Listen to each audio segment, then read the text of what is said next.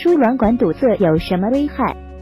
王婉莹，妇科主任医师。其实输卵管堵塞它最常见的危害就是导致不孕。大家知道，一个正常的妊娠它需要有这一个正常的精子，有卵子。还有一个通畅的这个通道，就是精子和卵子见面的地方，那就是输卵管。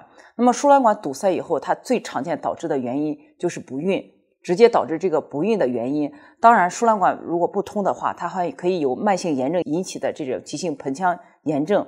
那么还有一部分人表现为输卵管的积水。那么在正常的人，它是有两侧输卵管，如果一侧输卵管积水，另一侧输卵管正常的话，那么积水的这个输卵管。它会积液向宫腔里头逆流，最终导致我们不孕的产生。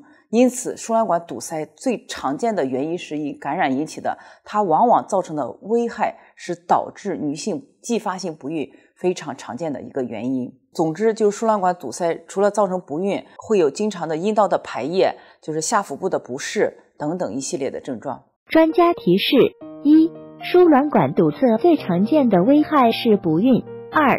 另外还会引起急性盆腔炎症、经常性阴道排液、下腹部不适等症状。